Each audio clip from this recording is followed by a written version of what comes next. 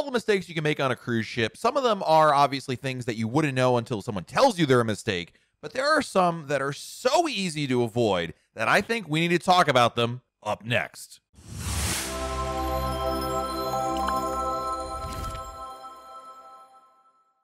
Hey everyone, it's Matt from RoyalCaribbeanBlog.com. Of all the mistakes a first time cruiser can make, some are very easy to avoid because they are likely the easiest to identify as a pitfall. I've shared plenty of advice here on our YouTube channel about how to avoid cruise mistakes over the years, and most of these mistakes are the sort of problems new cruisers would have no idea exist until it's too late. But there are plenty of mistakes that don't require years of cruise experience to identify as a fault. I've certainly overlooked these mistakes as a given, but it's important to remember that plenty of people new to cruising try this sort of vacation every day, which means it's important to cover these topics as well. So consider this a refresher for what not to do in order to cover all your bases and not succumb to an easy first time cruiser mistake. Starting off with number one, not knowing what time to be back on the ship.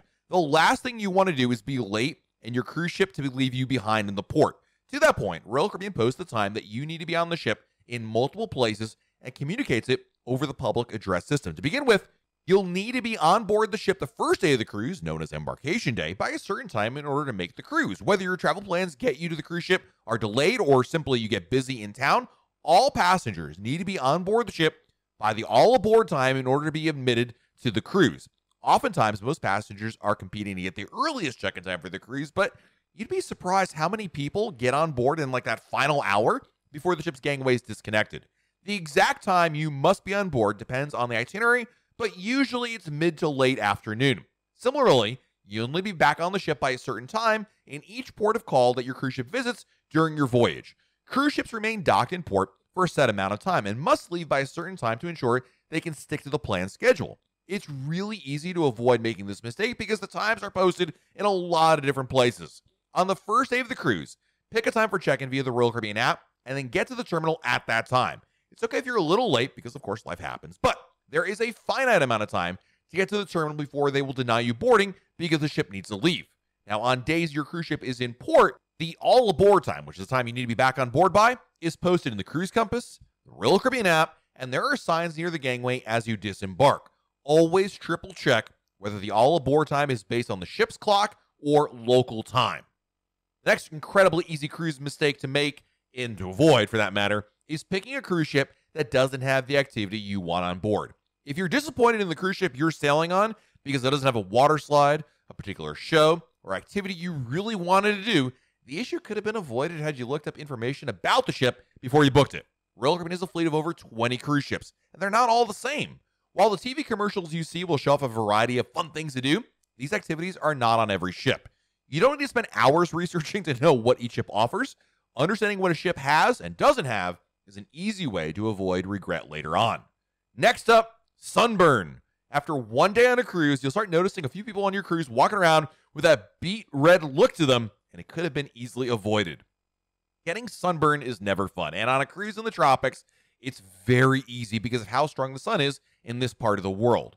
When you're on vacation, it's easy to get caught up in the euphoria and the excitement that comes with the time away from it all, but you will absolutely regret looking like a lobster later when the after effects of the sunburn start to kick in.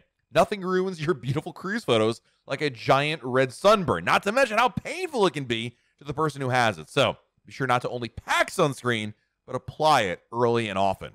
Another incredibly easy cruise mistake to avoid is not putting your phone into airplane mode. When you leave the country, your cell phone goes into roaming mode, and that can be incredibly costly. On a Caribbean cruise ship, you're outside your cell phone's company service area, and that is what the cell phone industry refers to as roaming. And it doesn't matter if you have an international plan. Cruise ship antennas are not the same thing as visiting Mexico or Europe. Instead of using your cell provider's network, you're going to be using someone else's cell phone tower and network. So, in simple terms, this means you'll be charged an arm and a leg to get cell phone access outside the US. Instead, put your phone into airplane mode, which deactivates your cellular antenna. You can still use your phone when in airplane mode to connect to the Wi Fi, take photos, or use any of your apps. Next up, not knowing about activities on board. Missing out on a fun activity can be a real downer while on a cruise. Karaoke, bingo, shows, demonstrations are all available every day of your cruise, but it's up to you to know when it's happening. It's really common to hear somebody tell somebody else about a really fun event they attended and then hear the other person profess disdain for being unaware it was happening. Moreover, some events only happen like once a cruise. Certain activities may only be offered once or twice, so you'll need to be aware of the schedule to avoid missing out. All the events of the cruise are listed in the Cruise Compass as well as the Royal Caribbean app. It's a really good idea to review the schedule each evening for the following day to ensure that you wake up in time for anything that you have your heart set on doing. You can even set reminders in the Royal Caribbean app by adding the events to My Calendar. It contains important information like hourly activities, the weather, special happenings, drink of the day, and information on the ports. Another incredibly easy mistake to avoid is carrying your wallet around on board. This tip is just about comfort more than anything else, but I really don't know why anybody carries their wallet around the ship once they're able to get into their staterooms. Each cabin has a safe that you can put valuables in, like your wallet, and so to avoid it being lost or being stolen. In short, there's no reason to have a wallet while you're on your ship. Royal Caribbean cruise ships are cashless, so all transactions are done via the SeaPass card. You won't need credit cards or identification in the regular flow of the day. There are still a few times when cash is needed, like in the casino, of course, or when you're tipping your waiter, but there's less risk in carrying a wad of cash in your pocket rather than the entire content of your wallet. Considering that most men's wallet look like something out of George Costanza's wallet, if you remember that episode of Seinfeld, then maybe a svelte money clip, you'll feel far more at ease with a wallet safely stowed in the safe. This next mistake might be the most common one. Actually, the sunburn is definitely the most common. All right, this is like number two most common packing prohibited items. There's a fairly long list of things you can't bring on a Royal Caribbean cruise, and there's always plenty of people who try to bring them anyway. On embarkation day, security will scan every piece of luggage coming on board. And if they find something you shouldn't have, they'll hold your bag.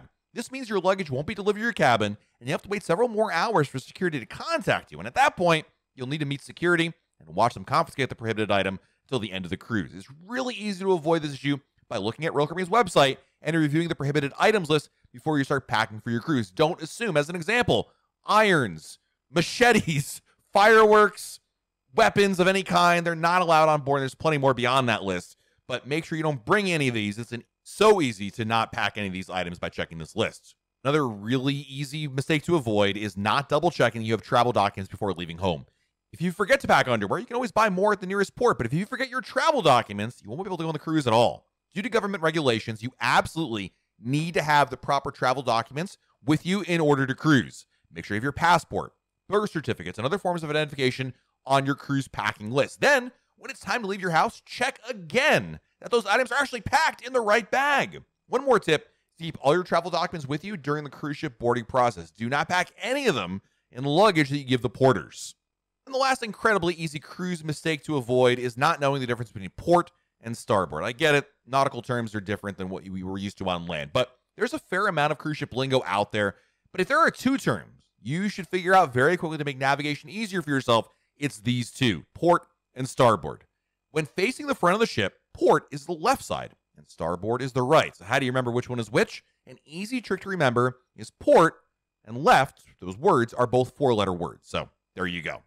There you have it. Nine incredibly easy cruise mistakes to avoid when going on a cruise. Again, this isn't the total list. I just picked out these nine as like incredibly super duper easy to avoid. Like, there's no excuse for not avoiding them because they seem, I don't want to say painfully obvious, but they're at the top of the most commonly made and yet easily avoidable. And if I say easily avoidable one more time, I'm sure there's a drinking game that can be construed from this. Anyway, hopefully this video helped you out there. Let me know in the comments below what mistakes of all of them out there do you think anybody going on a cruise could and should avoid? Let me know down there below. While you're down below this video, hit that like button, subscribe to our channel, and turn on notifications. That way, YouTube lets you know we have a brand new video to share. This has been Matt from RoyalCaribbeanBlog.com. We'll talk again real soon.